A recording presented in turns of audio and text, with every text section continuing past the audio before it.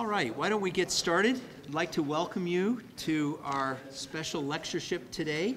Whether you're with us in person or joining us online, welcome to you all. It is our enormous pleasure to welcome Reverend Dr. Jennifer Powell McNutt as this year's presenter of our lectures in Reformation theology and history here at Trinity Evangelical Divinity School. Dr. McNutt is the Franklin S. Dyrness Associate Professor in Biblical and Theological Studies at Wheaton College. She is also a Fellow in the Royal Historical Society and an ordained teaching elder in the Presbyterian Church USA.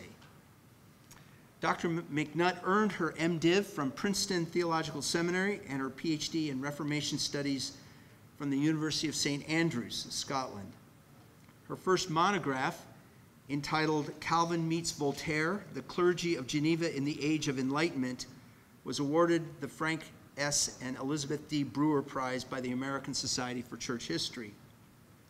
In addition to a variety of journal articles and book chapters, Dr. McNutt has co edited several volumes related to the Bible in the 16th century, Reformation, and is presently working on monographs related to the history of the French Bible and the social history of John Calvin's thought. On a personal note, I first met Dr. McNutt almost 15 years ago in the City Archive of Geneva, Switzerland, as she was conducting research, I think probably for your doctoral dissertation. Uh, then, as now, I've admired not only her careful and significant scholarship, but also the warmth, enthusiasm, and graciousness with which she engages her students and other scholars.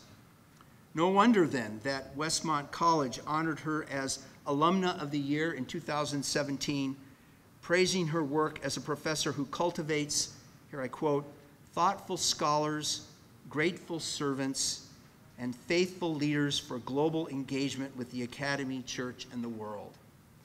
Wow, that's high praise indeed. Dr. McNutt's lecture this afternoon has the intriguing title that many of us have been talking about when Commas Save Lives, the interplay between the Reformation Bible and theology in the interpolation of the Johannine comma. Dr. McNutt, welcome. Thanks for coming. Thank you. I'm so honored to be here with you all today and to deliver the second annual lecture. And after Richard Muller, no less, um, thank you to Scott Manetsch for the invitation. Um, and I was going to tell the story about meeting Scott in the Genevan archives. And I was going to say, I think that's probably a cliche at this point uh, to say that you met Scott in the Genevan archives. so, um, you know, it's been such a, a, pleasure to collaborate with you over the years, and I appreciate you so much, and your fantastic scholarship continues to be a wonderful resource. Thank you. Um, any good lecture must somehow give an account for the title that was chosen. And in this case, I want to explain by simply stating that I am married to an academic editor.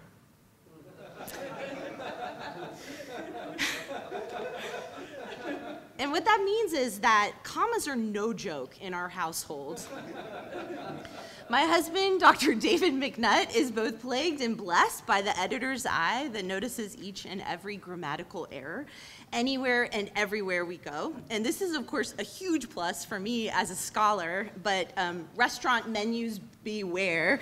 Uh, and I have it on the best authority that is all of the internet memes. And we're going to post one of them maybe that commas save lives. I hear that this is on the, the door of a wonderful colleague. Yes. there we go. So um, this morning, I always like to start with a little humor. Um, so this morning, I want to explore a different kind of comma, um, but one that had a life-saving capacity all the same during the Reformation period. Our text comes from 1 John 5b, which would become identified as verses 7 and 8 from the mid 16th century. Um, oh gosh, and this is why I wanted my PowerPoint. I was going to put the text up there for you. So you do have a handout, and you have the text in French. Let me just say it in English for you. It's for there are three who bear witness In heaven, the Father, the Word, and the Holy Spirit, and these three are one, and there are three who bear witness in earth the Spirit, and the water, and the blood, and these three agree in one. That portion in between, um, who bear witness from in heaven Father, Word, Holy Spirit, these three are one, and there are three who bear witness in earth, is considered the Johannine comma. All right, so that pericope within that text is considered a comma. That is, that it comes in the middle of two sentences. Um, so I want to just provide a little grounding. So I'm going to unpack that and what that means.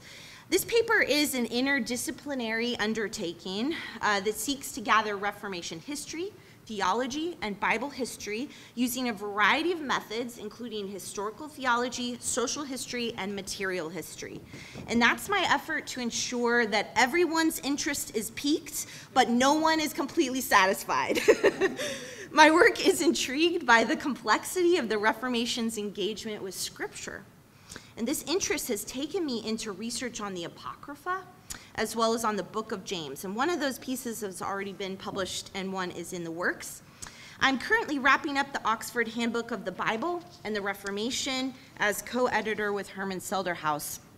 And I became interested in this topic um, many years ago when, as a 20 year old Westmont College student who was pursuing a biblical languages concentration, I visited the John Rylands Library at the University of Manchester and I held the St. John papyrus known as P52 in my hands in its glass case. And I don't think they allow you to do that anymore, is my guess. So I still remember that moment holding the earliest portion of any New Testament writing ever found. Um, and that is seared in my mind. Today's exploration of the comma touches on work exploring the Catholic epistles for the Reformation commentary on Scripture volume that I am co editing with Derek Cooper, which is also overseen by yours truly, Scott Manetsch, as well as Timothy George. Um, but I don't undertake this topic because it is a live question today. It's important to recognize from the outset that although there are plenty of points of disagreement among modern biblical scholars about exegesis and translation, the imposition of this comma in, John, in 1 John 5 does not happen to be one of them.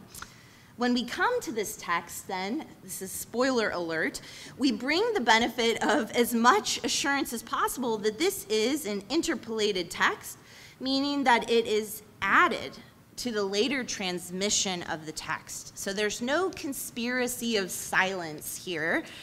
Um, as New Testament scholar Daniel Wallace has summarized, the comma is present in only eight late manuscripts, and half of these include the words in a marginal note.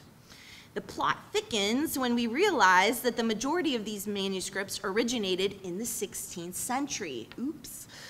Out of the eight, the earliest manuscript to include the comma, known as Codex 221, is a 10th century text, included the reading in a marginal note, which was a note added at some point after its original composition. Essentially, that means that there is no evidence of a Greek manuscript, including the comma, in the body text until the 1500s. And even that reading was composed after the first edition of Erasmus's Greek and Latin New Testament. That's in 1516. We know that the passage was regarded nonetheless as key to the Latin text because it is cited at the Fourth Lateran Council in 1215 in the second canon as a rejection of the Arian heresy. And this is further advanced by Thomas Aquinas' references to the Fourth Lateran Council. Okay, so the comma is not in question in that regard. So if we already know that it's not an interpolation, why track the story? The main reason I want to draw this topic out for our consideration relates less to the interpolation and more to what we can understand about the early modern interplay that took place between scripture and theology as reformers figured out how to sort out the comma. The comma highlights the complexities of those decisions, as well as the history of textual, historical, and grammatical criticism as the transmission of biblical text moved from the medieval scriptorium on the one hand to the printing press on the other. The comma serves then as a reminder of the way in which the history of the Reformation is inextricably linked to textual, material, hermeneutical developments and media relating to the Bible. And these are dynamic realities that must also navigate political and ecclesiastical systems with cultural and social dimensions. That's a lot. this complex engagement with the Bible during the Reformation, and that's by all accounts, uh, by not just by Protestants, by all camps, is reflective of and generative of the complexity of the era. And at the center of the Reformation story, in my view, is the Bible. The early modern hermeneutical landscape spanned broadly to include the hyper sola scriptura of the evangelical rationalists on the one hand, who would not use a theological term that was not represented letter for letter in Scripture, to the spiritualists who advanced the advent of a new revelation beyond the so called dead word of the biblical scholars. Bible translations balance, meanwhile, between dynamic and functional equivalence in their translations as confessional identity was crystallizing and vernacular language rapidly developing. Disagreement over the normative or regulative principle in matters of adiaphora or non essentials reflects concurrent conversations not only over the boundaries of Scripture's teachings, but also the boundaries of the scriptural text itself. Textual variants in general, but specifically the Johannine comma in the Reformation era, brought all these matters to a head because of the importance of the question raised, namely, what is the authentic text? Renaissance humanist Desiderius Erasmus of Rotterdam and the translation of the New Testament is where our story begins. It's no exaggeration to say that Erasmus's impact on the Bible on, in this era is extraordinary, particularly when we appreciate that he was considered low-born at a time when social mobility was far from the norm and then elevated to a height of fame that few could ever expect to attain. The revolution in media made that possible, but even just the fact of the printing press alone was not enough. As Andrew Pettigree's book, Brand Luther, explains, one needs to appreciate how very difficult it had been for living authors to win hearing at all. The, mo- the most published authors of the first age of print were almost all historic figures this stranglehold of the departed, I love that phrase, was much resented by the new generation of aspiring authors, which is why those who did make the breakthrough, such as Desiderius Erasmus, were so much admired. Conversely, this also means for Erasmus he couldn't hide his identity behind his critical work on the Bible, particularly his work on the comma. Erasmus's attention to the biblical text began in 1504 when he discovered in Park Abbey near Leuven a manuscript by Lorenzo Valla called the Collatio Novi Testamenti, which compared Greek and Latin biblical texts and was composed in the mid 15th century. It really spur, he was spurred on by Valla's approach, and Erasmus published the Collatio in 1505. And then he launched his own project of revising the translation of the Latin Vulgate in conversation with Greek manuscripts and providing annotations to justify any differences that resulted. In March 1516, Erasmus published his Novum Instrumentum, which is famously remembered today for being the first Greek New Testament published in Europe. Alongside, though, his Latin translation. In fact, Erasmus' Latin translation of the Greek text had begun years before in Cambridge, which is reflective of his original purpose in undertaking the task of retranslation. And we can actually see this from his own hand in the annotations where he describes Greek as the helper in restoring the true version of the Vulgate. The fact that the Greek New Testament was also never separately published in its own edition, while Erasmus' Latin translation was, on several occasions, indicates that this work was undertaken primarily for the sake of the Latin. But that's not what he's famous for.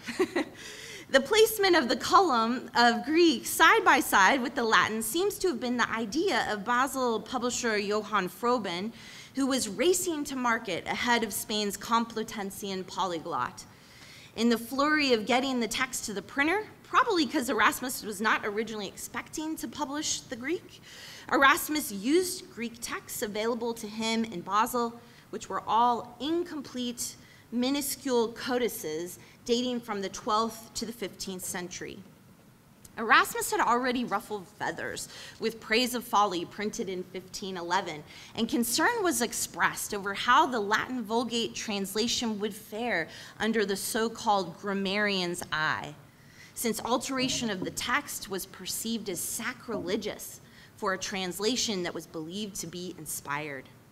Humanism at this time was emerging on the fringes of scholarship and faced disparagement for its methodological approach. Erika Rummel's work has shown how Erasmus's philological approach to Scripture was challenged and criticized by scholastic theologians who were appalled at the idea of a, quote, theolo- sorry, theologizing humanist. That's a mouthful. Okay. The flame was stoked when Erasmus did not refrain from altering the substance of the Latin expression in his attention to style. His translation and edits carried the weight of serious theological implications in matters relating to penance, sacraments, cooperative grace, and in the case of the Johannine Comma, relating to the doctrine of the Trinity. The timing of these decisions matters, and I really appreciate an article by David Whitford on this. He has stressed this part of it. When Erasmus's first edition of the Greek New Testament was published in 1516 without the comma, those were the early days before Martin Luther entered the scene. It was before Luther's treatise against scholasticism in 1517, and of course before the 95 Theses. Both the first and the second editions of Erasmus's New Testament were published before Luther's excommunication in January 1521 and condemnation at the Diet of Worms months after. And as the Spanish crown began to censor the Lutheran groups in the Netherlands, leading to the first martyrs of the Reformation, Erasmus began to shift in his attitude about whether to keep the com- or whether to restore the comma or not. In part, the restoration of the Johannine comma in 1522, that's Erasmus's third edition, should be understood in light of the tumult of the 1520s that surrounded Luther in the Netherlands and all that he represented for ecclesiastical and political forces at that time. Now, even with that alteration, actually, the Spanish Inquisition still investigated Erasmus's scholarship in 1527. You don't want that. Um,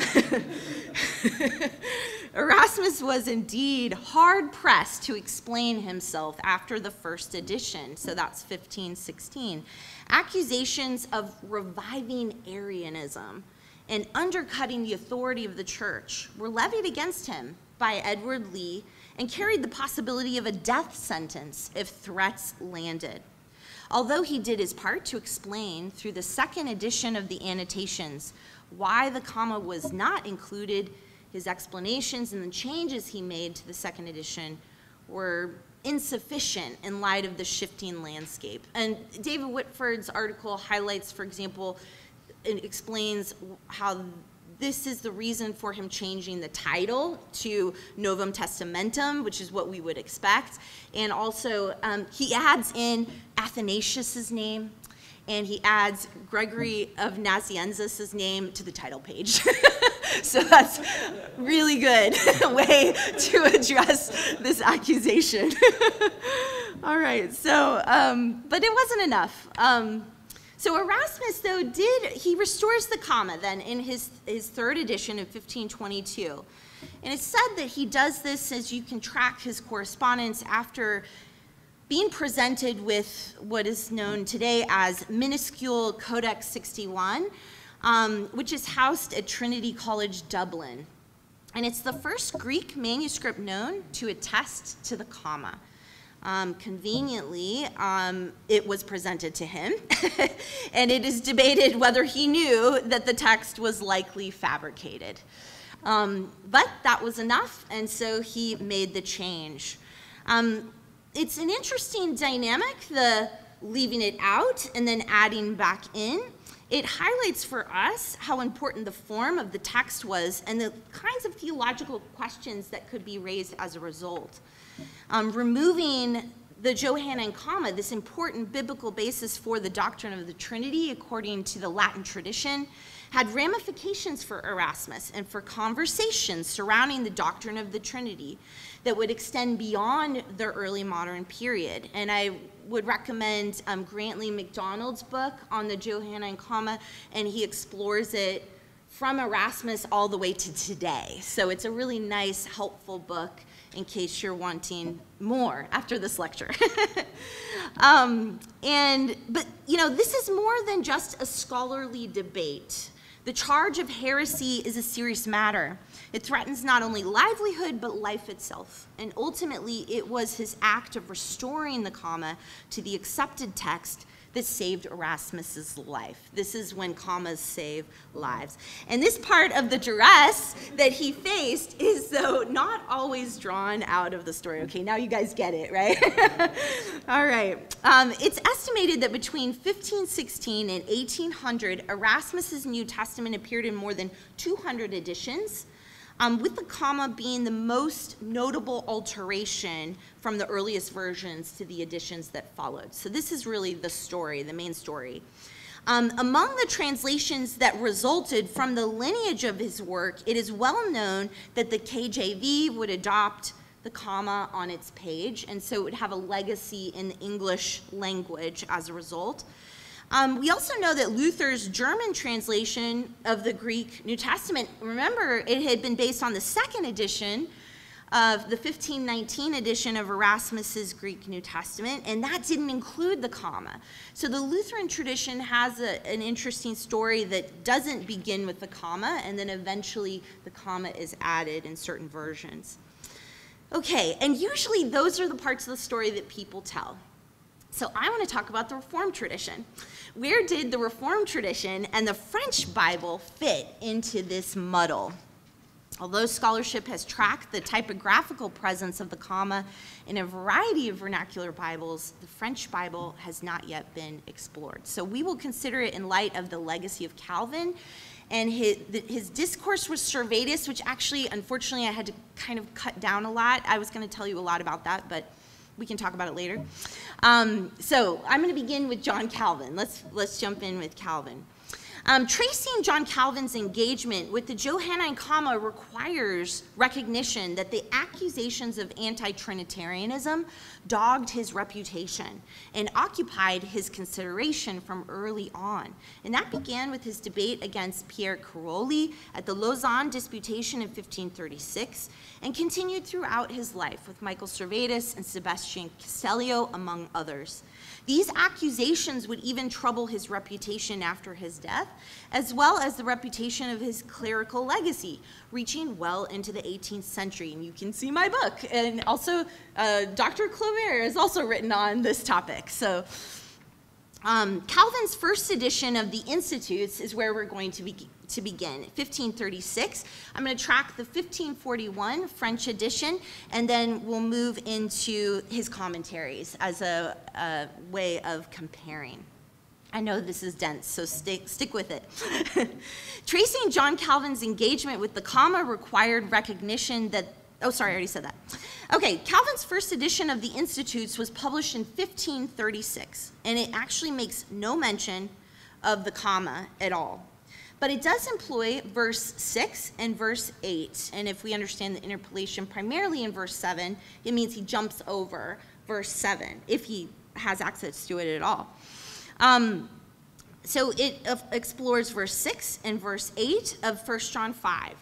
And the context of the conversation happens in issues of sacraments and baptism. This is actually a section that would be moved intact to book four of Calvin's Institutes in the 1559 edition. Importantly, this was written before Calvin's arrival in Geneva in August 1536 and the conflict that he faced with Caroli in October 1536. In additionally, this first edition of the Institutes was significantly influenced by Luther, who did not recognize or include the comma. In the passage, Calvin identifies the water. I don't know if you want to open your Bibles to First John, that might help. But identifies the water that's referenced there with one's baptism in Christ and the blood with one's redemption according to Christ's blood. The Spirit serves as the primary testimony in this work of confirming the testimony of these signs. And Calvin also links the reference to water and blood to John 19, um, and as we know it is verse 34, insofar as both the water and the blood flowed from the side of Christ. He appeals to Augustine's claim that Jesus is the wellspring of sacraments in his evaluation of John, thereby showing how scripture and tradition align. And this is the first instance of Calvin identifying 1 John 5 verses with the confirmation of the inner testimony of the Spirit, and that particular focus and emphasis would drive his consideration throughout. When we look at the French version of this section on sacraments that was published in 1541, Calvin again skips over verse 7, the actual comma in order to make the case that there is a figurative correlation intended between sacraments of baptism and Eucharist with water and blood. This time he uses the word ransom instead of satisfaction. The role of the Holy Spirit receives a little more explanation for offering certainty by making us, quote, believe, understand, and know, for otherwise we could not grasp it. Eventually, the comma, that is verse 7 and part of verse 8, is addressed by Calvin in the Institutes, but this time directly in his discussion on the Holy Spirit. And that's a little bit of a surprise, frankly. Um, Calvin's 1536 section of the Holy Spirit, uh, the Holy Spirit is split up in the 1559 edition between Book 1 in relation to the doctrine of God and Trinitarian theology, and Book 3 in regards to how the benefits of Christ are received.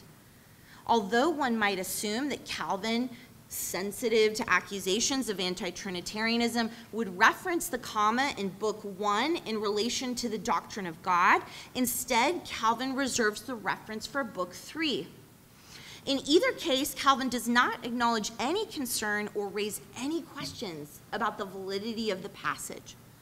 But his innovation is seen in the fact that he uses the text to confirm his doctrine of union with Christ rather than the doctrine of the Trinity.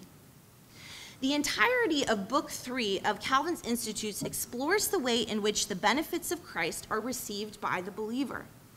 The dilemma is clearly laid out from the start. Calvin writes As long as Christ remains outside of us and we are separated from him, all that he has suffered and done for the salvation of the human race remains useless and of no value for us. All that he possesses is nothing to us until we grow into one body with him.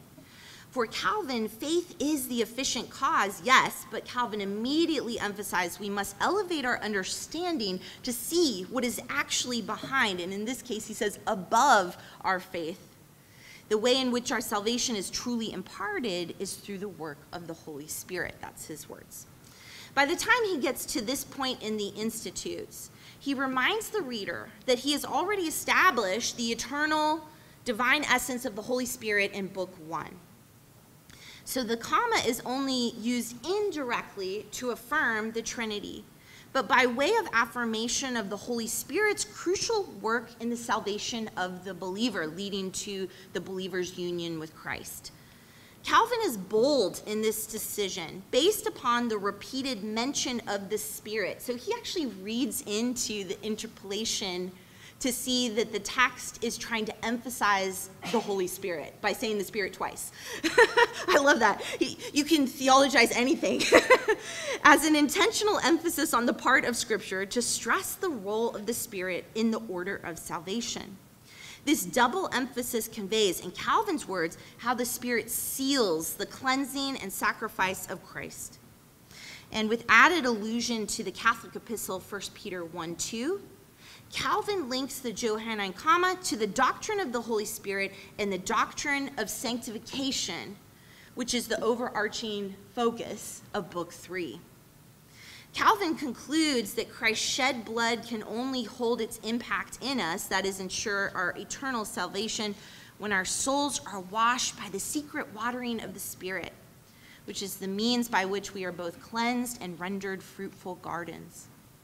Okay, so if we understand that the content of the Institute's functions to build ideas upon each other in a specific progression, then we can see that the Johannine comma themes of water and blood and emphasis on the Holy Spirit is functioning as a foundation for Calvin's later dis- discussion of duplex gratia, the double grace of justification and sanctification. Of course, when he talks about justification, the hinge upon which all religion turns, and he'll unpack, though, how that is linked to sanctification, though distinct.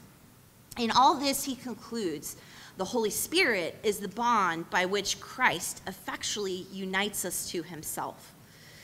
So I just love that was such a fun discovery, frankly, because I did not expect it to be there, the conversation to be there, and then to see how the comma was functioning and in such an important way in his thought just got me thinking about a lot of different things. But the idea that the comma may not be authentic is neither referenced nor is the comma used in the traditional way of girding the orthodoxy of the doctrine of the Trinity, at least not in the institutes.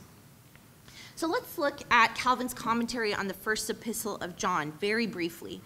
Um, published in 1551. So Calvin doesn't grapple with the text um, until 1551 with the publication of his commentaries on the Catholic epistles. At this point, he is consistent in exploring the meaning of the blood and water and its echoes with John's gospel. This is something we'll continue to see how the reading of First John is done through the lens of the reading of John's gospel. At verse 7, Calvin expresses recognition that this is a disputed passage and that not all manuscripts include it. He acknowledges, quote, the whole of this verse has been by some omitted. But he notes that because Latin and Greek copies do not agree, he's unable to say anything about it. okay, so Calvin does not venture into humanist territory further, but instead communicates the ambiguity that has already been modeled by Erasmus himself. It's important to note that Servetus has not yet been caught in Geneva, the commentary falls two years before that event.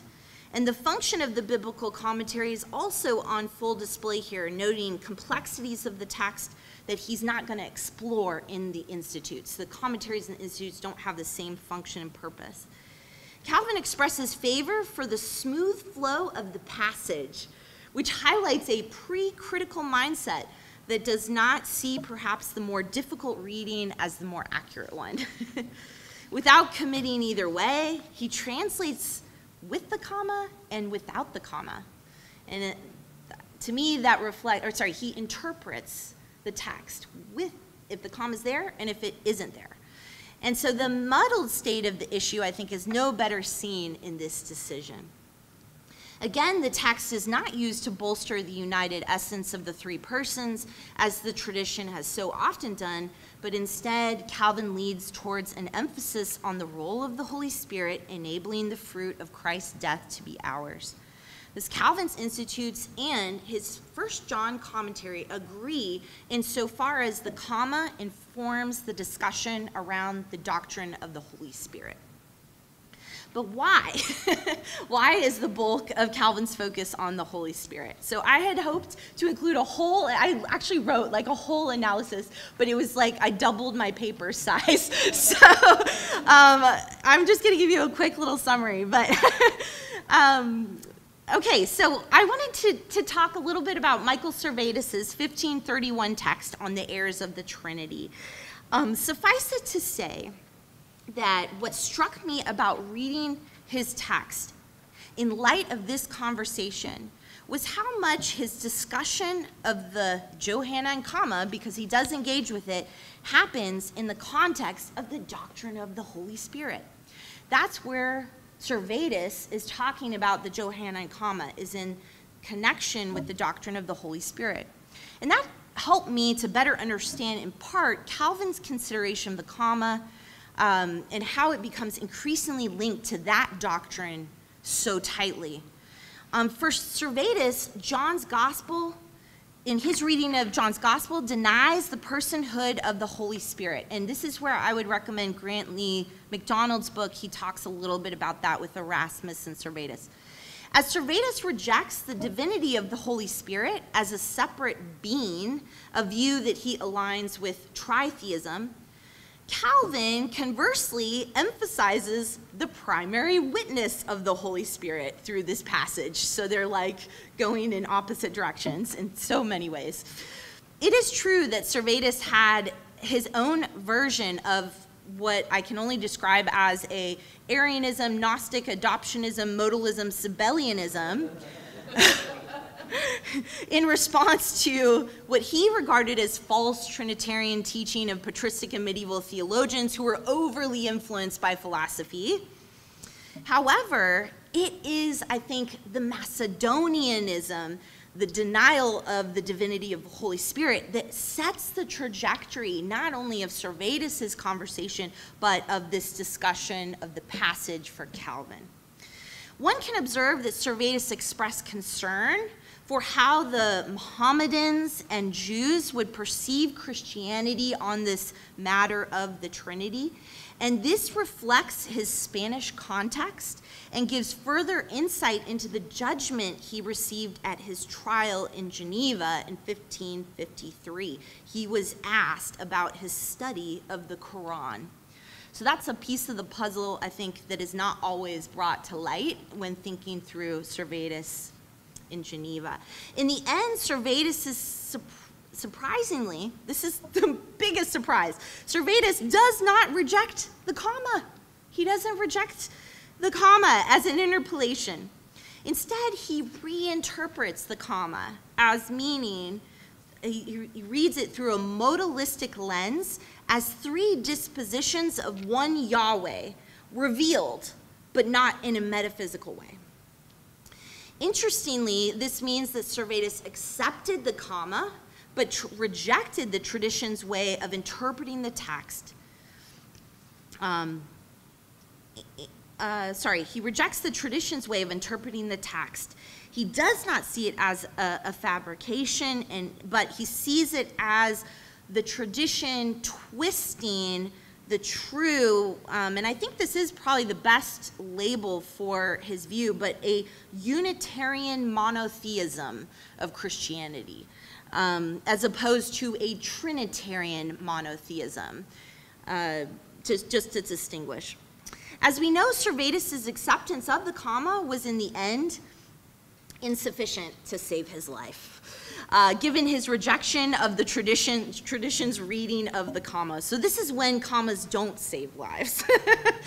How was the passage navigated then on the pages of the French Bibles? And do we see the same ambiguity here as well? So one thing that you'll maybe be able to tell is that I am engaging in the Reformed hermeneutical circle. Okay, so that hermeneutical circle uh, affirms Calvin's Institutes, his commentaries, and the Bible. But sometimes we assume that we know which translation of the Bible people are using.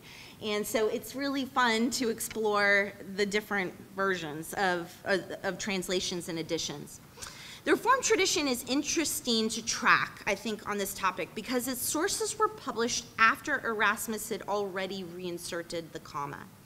Furthermore, Reformed biblical scholarship coming out of Geneva had an outsized impact on the expansion of vernacular Bible translation because of the contributions of Robert Estienne or Stephanus and Theodore Beza to what would become the Textus Receptus, published in 1633. We are quick to look, I think, at theological treatises and biblical commentaries for insight into these matters, but early modern Bibles intentionally developed and provided hermeneutical readings of Scripture on their pages in material ways through book and chapter summaries, table charts, dictionaries, images, scriptural cross references, and paratextual notations. The material culture of Bibles is steeped in theological import while also reflecting the confessional identity of the audience and conversely shaping the confessional idea identity of the audience. So, uh, in my view, Calvin's hermeneutical circle is in fact not complete if we don't pay, pay attention to the Bible. In this case, I'm going to pay attention to the French Bible. Uh, the, you have now your handout will be useful to you. Enjoy. Uh, though the, it's all in French, so maybe maybe some of you read French, but um, the first Bible to talk about is Jacques Lefebvre's Bible. This is the first French Bible of note. Um, for my purposes. Lefebvre was a humanist scholar and early reformer in France. He was connected to the reforming circle at Meaux and under the patronage of Marguerite of Navarre, the sister of King Francis I. Um, in 1523, he published his French New Testament in Paris with privilege, that's a big deal, uh, based on the Latin Vulgate. In 1530, he published the complete French Bible in Antwerp. That location should tell you that he got in trouble in between.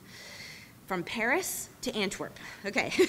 Despite the Sorbonne's condemnation against him and his commentaries in 1520, which forced him to leave France for Strasbourg and the Netherlands.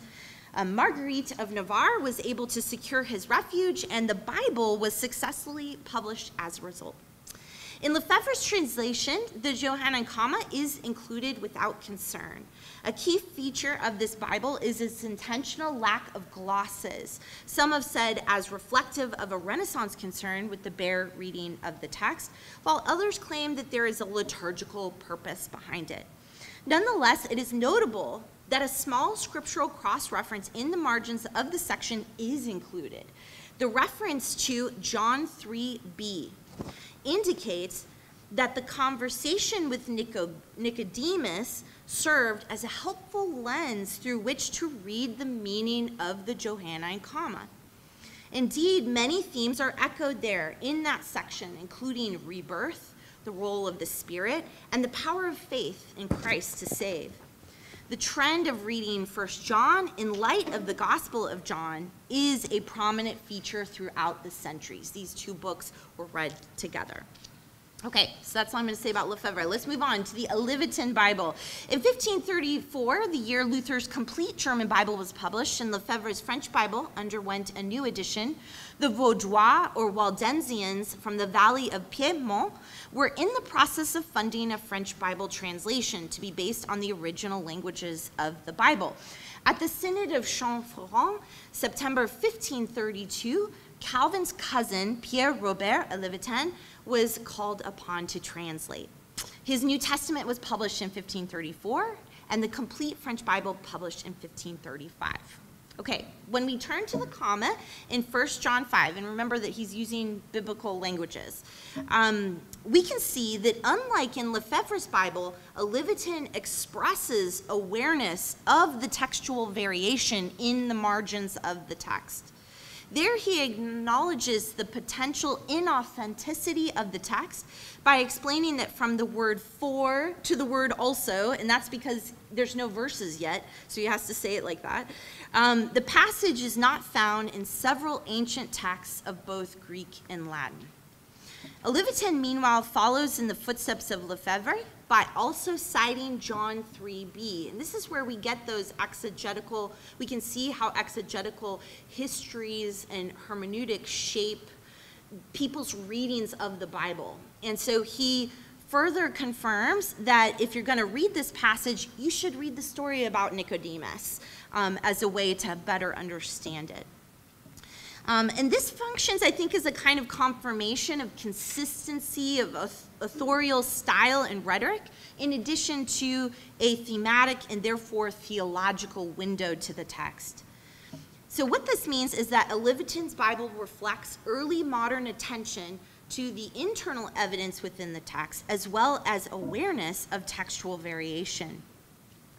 And as I look ahead to other French Bibles in the Geneva family lineage, the decision of the Olivetan Bible to include the comma in the main body, despite raising questions about textual legitimacy in the margins, is formative. And that will shape the content of French Bibles on this issue for as long as I am able to look at them. And that only goes to 1805, and that's as much as I can do. That's a lot. Thank you for laughing. yeah, it's a lot. okay, so um, so I want to highlight how in the French tradition it's the Olivetan Bible that is going to set the trend. Um, uh, yeah. Okay. If we look to Calvin's first revision of the complete Bible, so that's the next one I want to highlight for you. Don't worry, I'm not going to do all of these. Um, in 1546, published by Jean Girard, we will see Calvin following in the footsteps of a Olivetan with the inclusion of the comma in the main body and a paratextual notation that is typographically signaled by way of quotation. So that's another way that you would highlight that there's maybe a problem in the text, right? It could be italicized or you could put like a little asterisk, something like that. In this case, there were quotes that were put and then the notation explains what the quotes mean. Um, what's interesting to me is that the story of Nicodemus is no longer taught as a lens to read the comma. And that really fits, doesn't it, with what I already told you about what he's doing with the comma in the institutes and in the commentaries. He's not drawing from the Nicodemus story, so he doesn't put it in the reference of his Bible.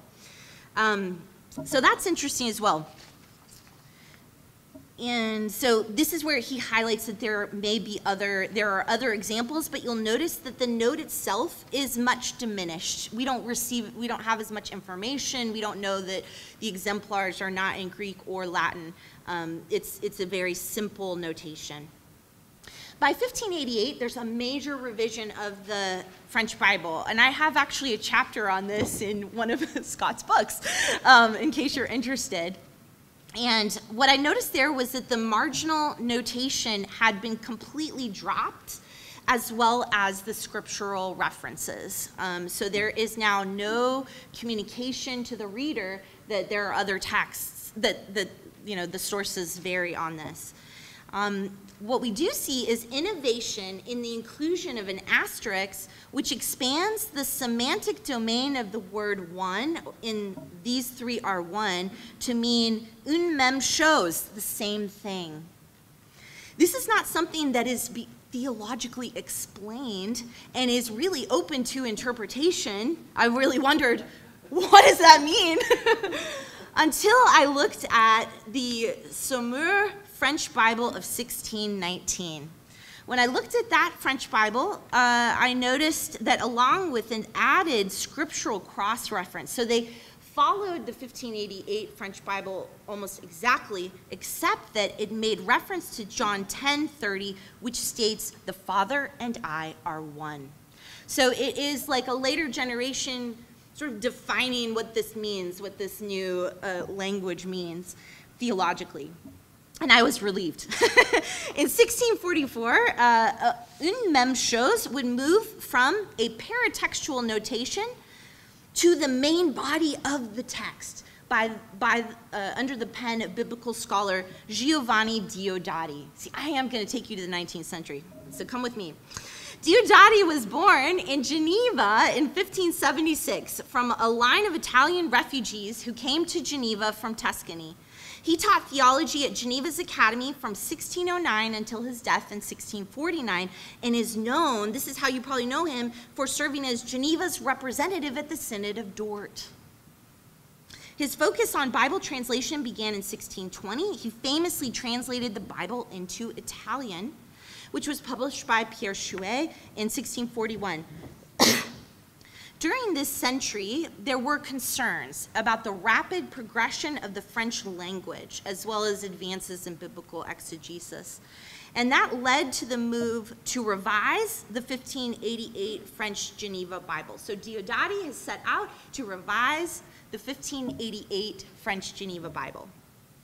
From the start, Um, oh, I was going to say, because the volume is published in a folio size, there's a whole lot of space for glosses, and this is a very fun Bible to research. so from the start, Diodati uses the argument or summary at the start of the Catholic epistles to claim 1 John as confirmation of the prologue of John. So again, we see this tradition of reading those two texts together and helping to understand the together. The value of 1 John is due to its affirmation, quote, of the very sacred Trinity, the person of Christ in his office, and the benefits of redemption, adoption, regeneration, and glorification for the faithful. Diodati transitions into echoes of Calvin, stressing the teaching of 1 John as confirmation of the Holy Spirit, bringing a necessary illumination of understanding to interpret God's word rightly. By the time we get to verse 7, Diodati offers a long notation. it's, it's a lot. There he unpacks the significance of the passage in terms of the doctrine of the Trinity as a clear affirmation of the unity of the three persons in essence and in perfect union of operation. That is his reason for translating the text un même chose, or same thing. That's how he uh, explains that choice. Moreover, Diodati's notations further confirm the Reformed move to use the Johannine comma as confirmation of the internal testimony of the Holy Spirit. Diodati explained God's testimony is taught by the external word, is written in the hearts of the faithful by the work of the Holy Spirit by highlighting the resonance of his points with confirmations from other verses. And he cites a lot of different verses John 14, 15, 16, all different ones. Diodati teaches that the Holy Spirit is the one who whispers to believers the secrets of God. The continuity is evident in the way in which the three confirm the truth of the other. He cites John 5 and John 8 in that regard. So, hermeneutically speaking, then we again can see how the first epistle of John was read in light. I've already said that several times, but confirming, I think, that authorial coherence and clarity, and I think further boosting, actually, what it's doing is boosting the validity of the interpolation, right? It, that's what it's how it's uh, functioning. Diodati's Bible is an excellent example of how the Bible at a folio size could function as a biblical commentary. So don't just think of it as a Bible, but also a commentary. And it was especially intended for pastors given the size and function of the folio in the church context, revealing passages and doctrines shaping confessionalization in the Reformation's aftermath.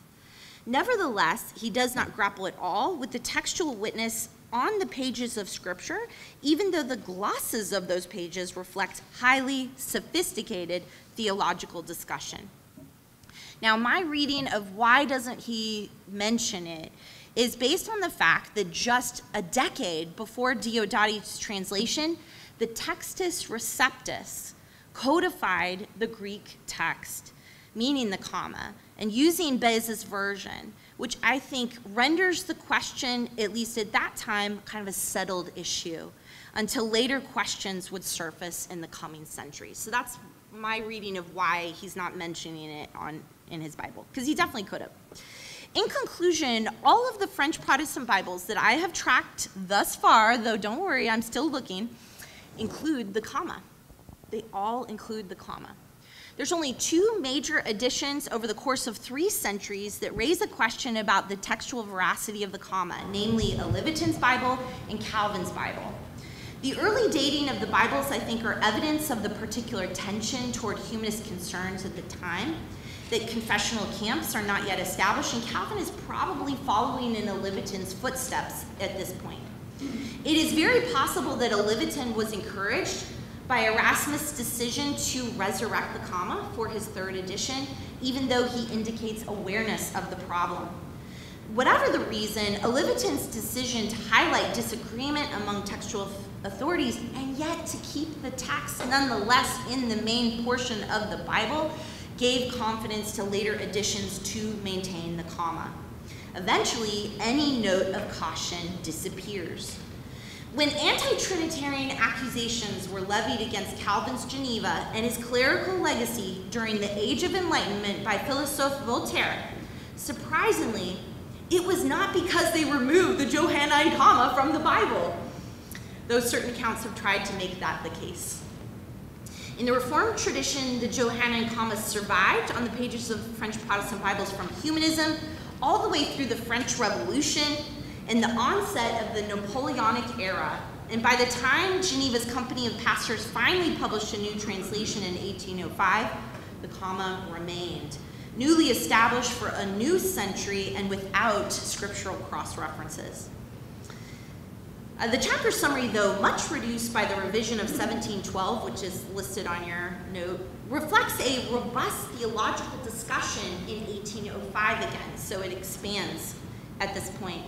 In the aftermath of anti Trinitarian accusations, Geneva's 1805 French Bible exclusively emphasizes the passage as supporting the divinity of Christ. This reflects a divergence from earlier uses that emphasize the doctrine of the Holy Spirit based on Calvin's own approach and in response to Servetus. It seems that in the aftermath of very harmful press from the French philosophers of the Enlightenment, where they're accused of Socinianism on the pages of the Encyclopédie, no less, the 1805 French Bible offers affirmations, very clear affirmations of Christ's divinity. By this point, the comma was again the traditional proof for battling against Arianism until the rise of modern textual criticism. Okay, in conclusion, in the case of the comma, left without sophisticated tactics for evaluating variants, starting with Erasmus, and without true access to earlier manuscripts for comparative sake, theological coherence became a primary mark of authenticity.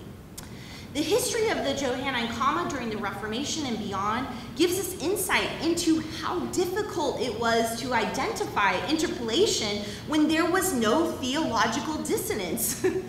the Reformers expected for Orthodox doctrine to be confirmed in Scripture by Scripture according to the principle that Scripture is self interpreting.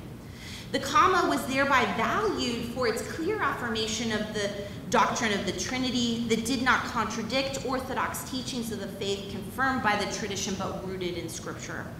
This aligned with the mainstream reformers' view that while doctrine could not originate outside of Scripture, in its substance, the theological language used to represent those ideas could be derived from outside of Scripture's language.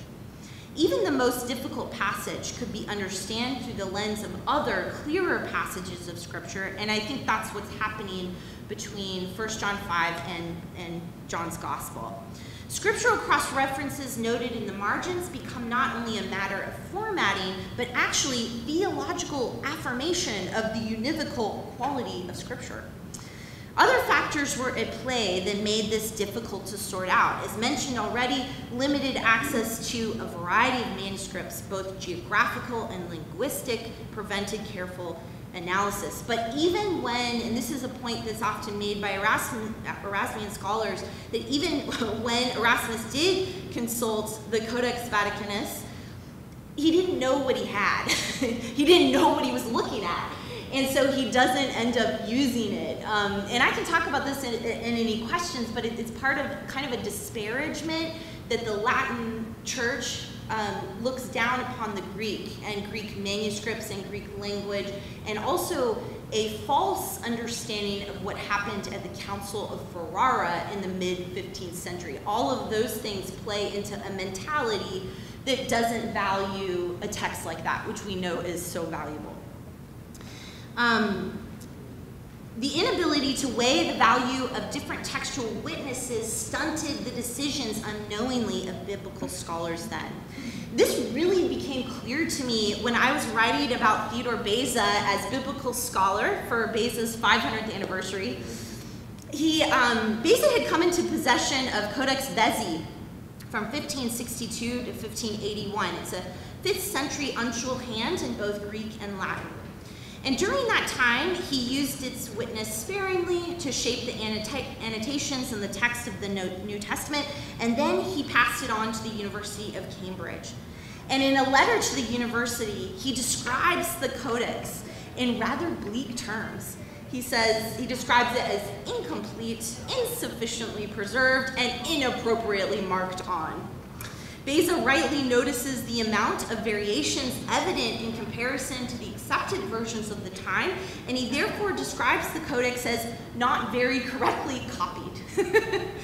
Consequently, he suggested that the codex be stored rather than published to avoid controversy. Now, add to that the stresses and disruptions of the Reformation as confessional camps with political loyalties began to emerge. And it, I think it becomes harder and harder to remove the comma. The printing press, in a way, compounded the problem because it made the Textus Receptus possible. And only with the printing press could identical mass copies be made. And this is going to facilitate the expansion of vernacular translations with the comma included, as we saw in the French um, Protestant Bible.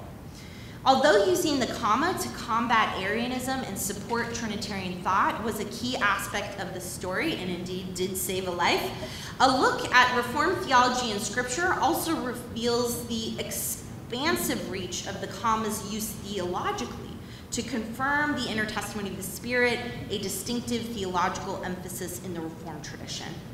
At the end of the day, the Johannine comma had the power to save lives both spiritually and practically or politically insofar as it was valued in its time. Unfortunately, this, of course, misguided constraint delayed the truest form of the text until later centuries began to critique the idea of a single received text. Thankfully, the doctrine of the Trinity never depended solely on the Johannine comma, a text that did not even exist when the early church was clarifying its beliefs according to Scripture. Ultimately, the interpolation of the comma reflects the Reformation's interplay between Scripture and theology, wherein theological coherence functioned as the arbiter of truth in the absence of informed textual evaluation. Thank you.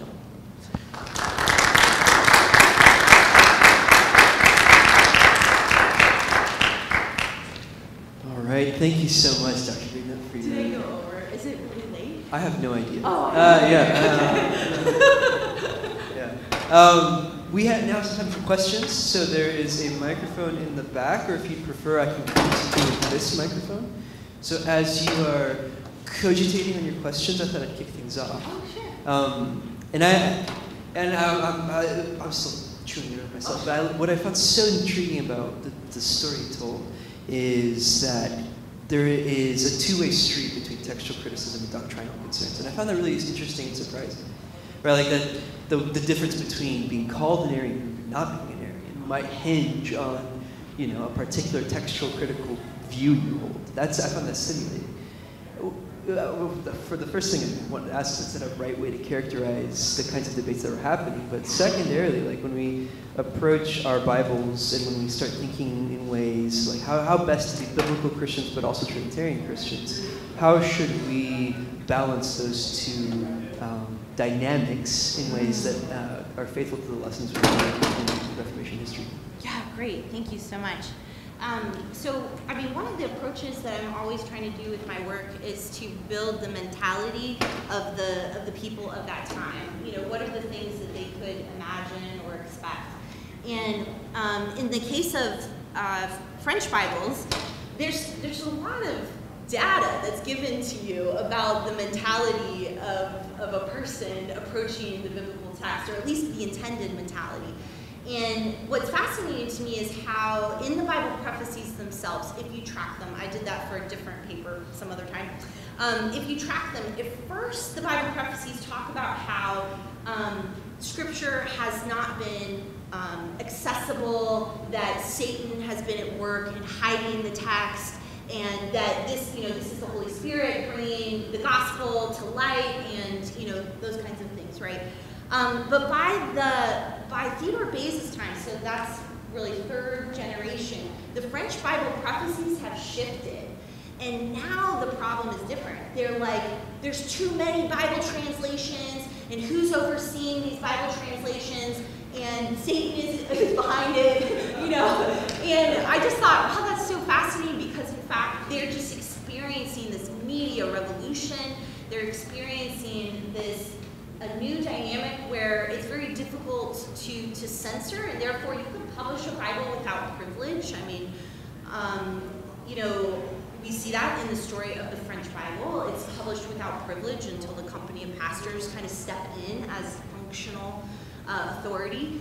And so, um, so I think that that, so all that to say is that the Bible that they're using really matters. The Bible that's being pulpit, the Bible that's being read out loud, the Bible that's being read in the taverns. Um, in Geneva, you had to have a Bible in the taverns as well. Um, you know, whatever, that does shape the conversation and shape the discussion, and, and they're really focused on the importance of that um, translation.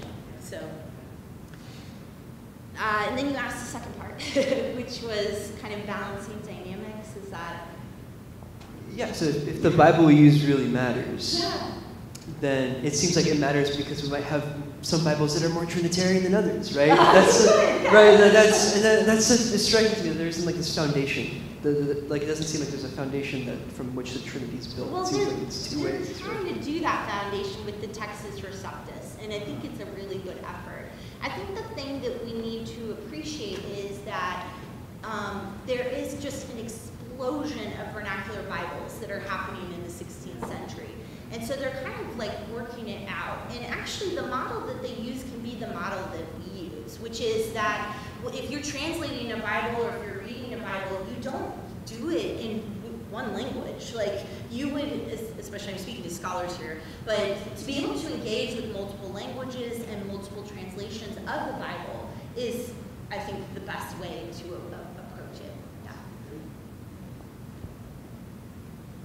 Thank you so much. This was truly an integrated lecture. You hit both church history, theology, biblical studies. I love this. Um, I guess my question would be, as a result of your research, how does Calvin come out? Because he, he Yeah. seemed to avoid the easy Yeah. anti-Trinitarian accusation. He didn't mention the comma, the early edition, when he could have. Yeah. And then when he does write the commentary on First John, you, apparently he gave it uh, both ways, a version So of with the comma way. and without the comma. It- it- well, how did you think? Is, does he come out with a I was- better reputation or? oh, I don't know. That's funny. Um, I was surprised. It, it's always fun to not know what you're going to discover. You know, that's probably my favorite part about doing historical analysis.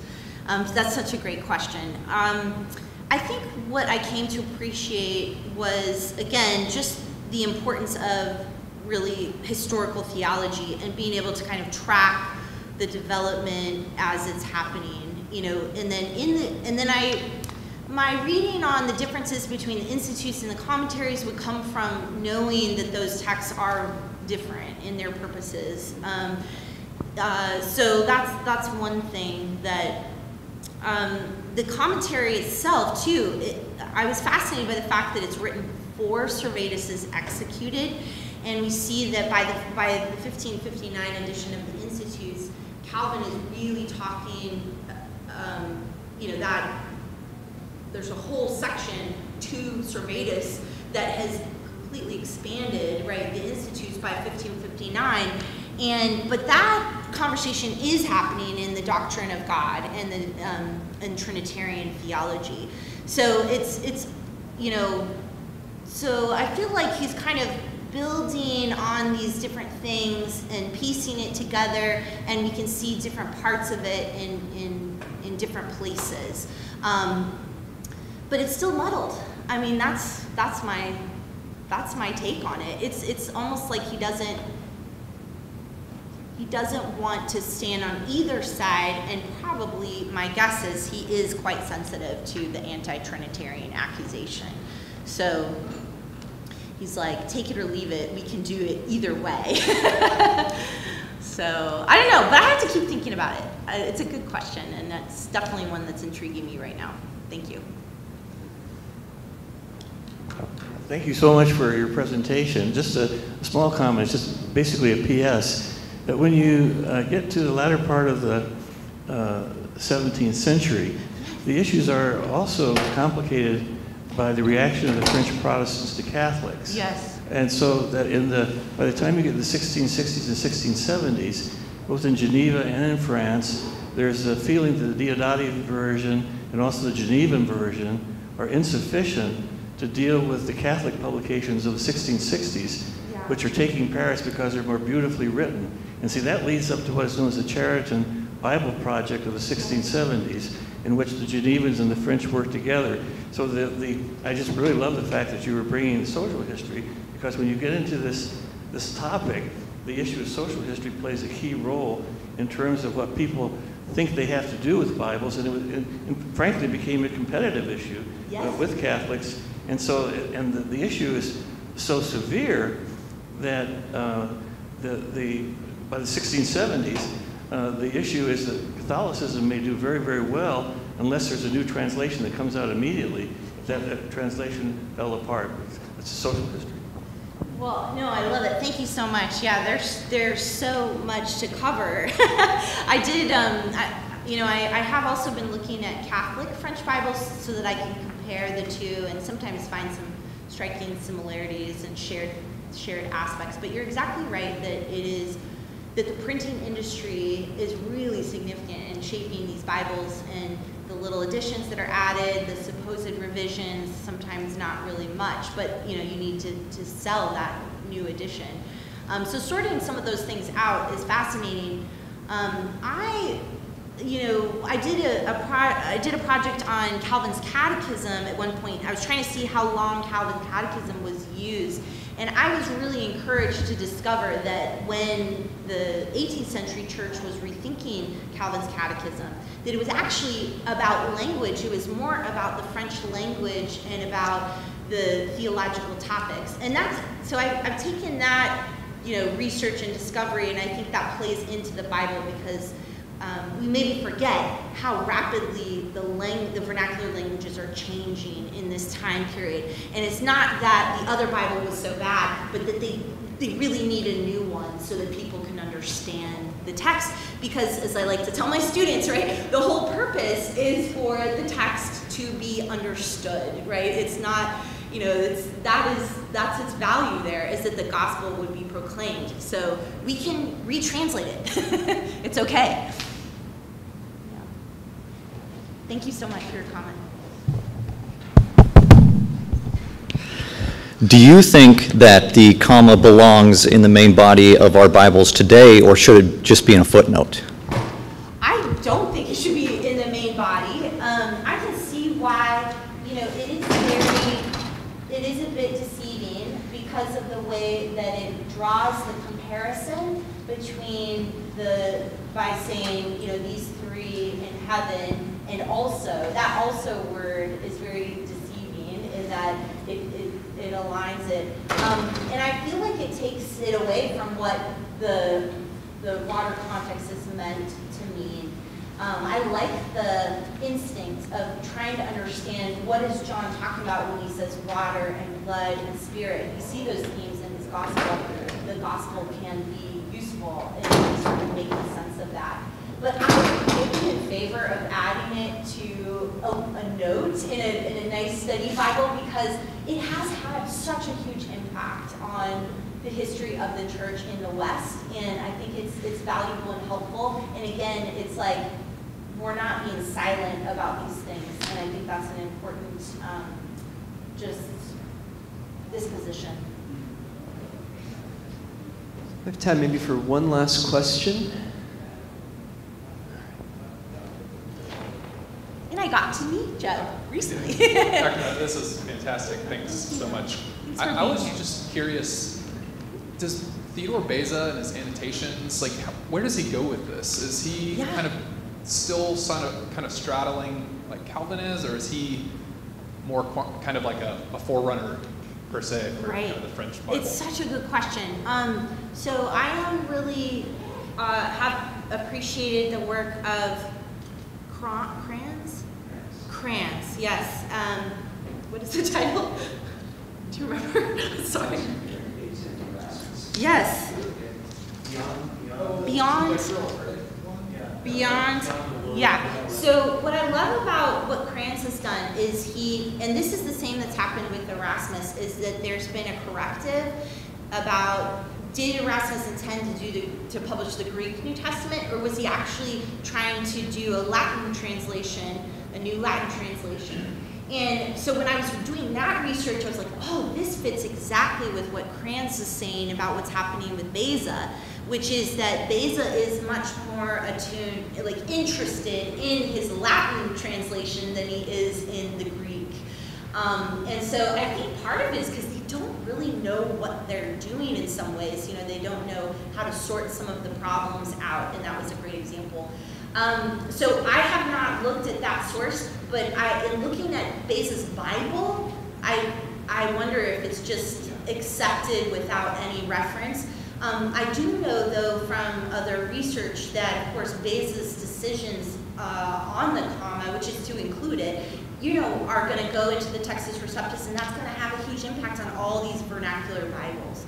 So, um, yeah, but I don't know that he could have, it doesn't seem that anybody in that time could have evaluated it differently. They just didn't have the tools to do that, and in that way, you just can't hold it against them. Theological coherence is a valid basis for keeping something in. It's not the same as when they deal with the Apocrypha and they say that theological, you know, this is a, there's a theological dissonance here. Um, you know, so it's, it's not the same as the Apocrypha. The comma's a little, little different. All right, please join me in showing our appreciation to Dr.